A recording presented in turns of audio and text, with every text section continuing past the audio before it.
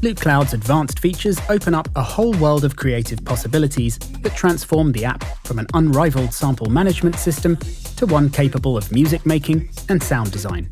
Clicking the Edit button in the player unlocks the GUI's full potential, so that all of the multi-track, pattern presets, and onboard effects controls can be accessed. So with the advanced controls showing now, I'm free to select tracks in the player, so can choose the second one here to add a bass loop to go with my drums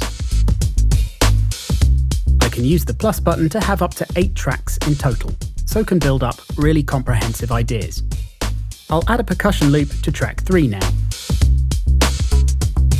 And lock it to the key of the bass, so the player makes sure that this tuned percussion is in the correct key. And with a few tracks added now, I can mute and solo them with the switches. And adjust individual levels with the sliders if I need to.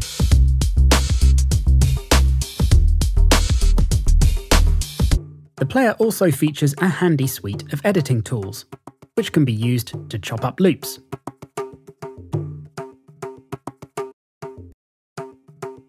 as well as scrub or reverse slices.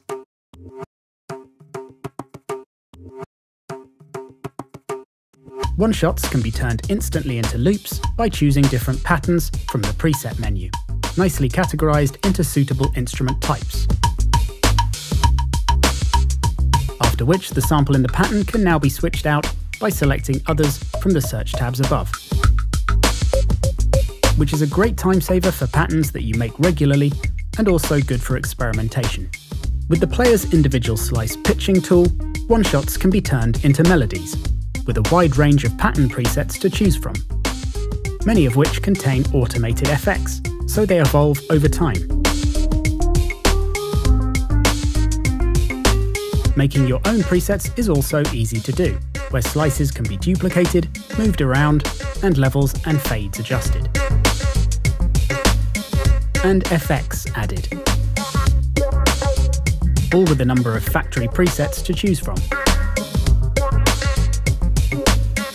Then patterns can be saved into your user library for instant pattern creation from any sample at a later date all of the player settings can also be saved into session files, which store all tracks, samples, patterns, and effects in use, so that you can return to earlier ideas at any point or make your own template sessions. There's even the possibility of saving a default workspace now, so that search tabs and player settings can be recalled when booting up, to help save even more time when starting on a new track.